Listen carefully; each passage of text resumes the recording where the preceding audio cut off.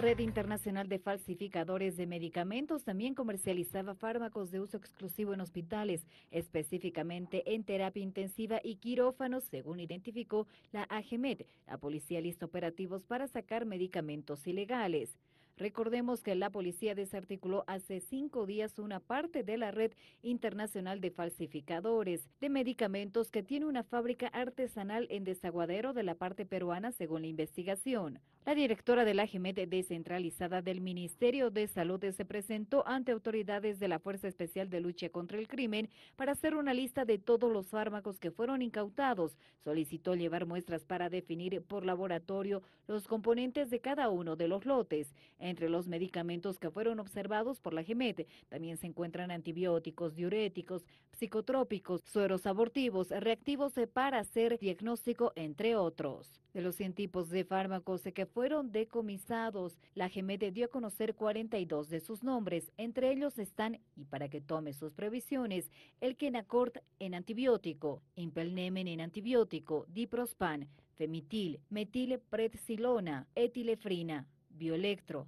Albúmina, que es de uso hospitalario, Vancomicina, Ferbotamina, dexametasona de hormonas sin permiso de circulación en el país, Gravol, fenitoína, multiprox, cotrimoxazol, propofol de uso hospitalario, ceboflurano también de uso hospitalario, ranitidina, dimenidranato, omeprazol, claritromicina, meloxicam, ciprofloxacina, claritromicina, acitomitricina, piralvex, aciclovir, ganciclovir, fenol, vaporub, remifentanilo, de uso hospitalario, ergometrina, metronidazol, poligelina también de uso hospitalario, fentalino, meropenem, eritromicina, diclofenila, diclofenaco, tetramicina, moduretic y ketorolaco.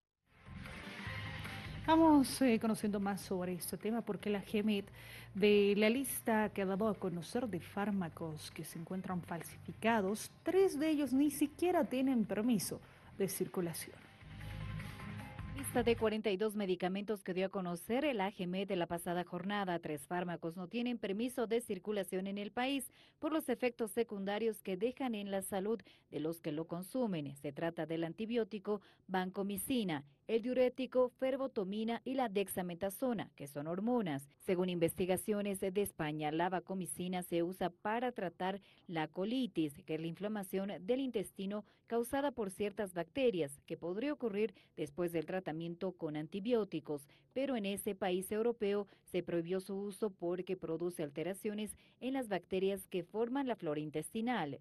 En cambio, el diurético ferbotomina no tiene antecedentes de efectos secundarios, pero la GEMET no dio la autorización para su venta en el país. Respecto a la hormona dexametasona, el medicamento es similar a una hormona natural producida por las glándulas suprarrenales. Por lo general se usa para reemplazar este producto químico cuando el cuerpo no fabrica suficiente. Alivia la inflamación y se usa para tratar ciertas formas de artritis, trastornos de la piel, problemas de sangre, riñón, ojos, la tiroides y los intestinos. También se usa para tratar ciertos tipos de cáncer. La responsable de la GEMETE, Patricia Tames, informó que se realizan controles para evitar la venta de medicamentos sin permiso. Fue el caso de la albúmina humana que se encontró vendiendo en una farmacia cerca del complejo de hospitales de La Paz.